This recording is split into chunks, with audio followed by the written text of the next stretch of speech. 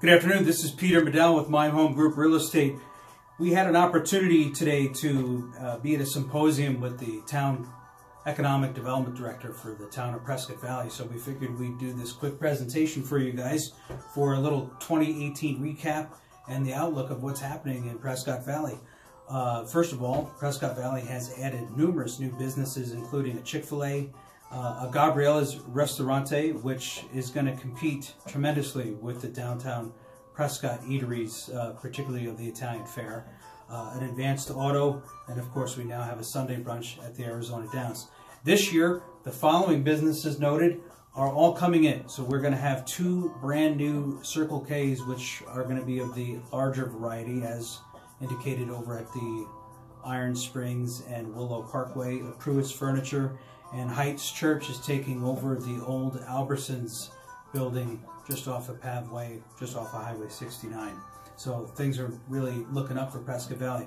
Uh, Homestead at Talking Glass is a brand new apartment community. There's going to be 214 units there, as well as Dorn Homes is going to be adding some either condominiums or townhomes there called the Bungalows at Talking Glass, and that is going to be about 145 units.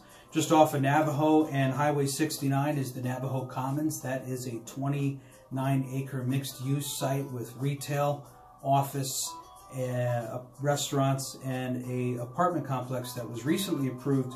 We do not know the exact number of units that are going to be in that uh, complex. Uh, out in Quailwood, Dorn Homes is adding their north uh, next phase of about 288 units. And then, of course, we're going to talk about Jasper. Jasper is a brand new master plan community that has just been approved by the town of Prescott Valley. There is two featured builders that are going to be there, Capstone Homes and Mandalay Homes.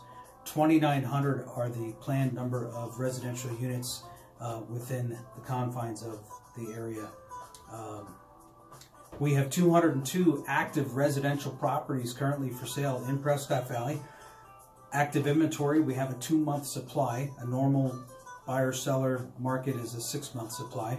350,000 is the average list price per, um, with 85 days on the market and 125 pending sales. There's 1,212 units that were sold in 2018. 292,000 was the average uh, sale price and 41 days on the market.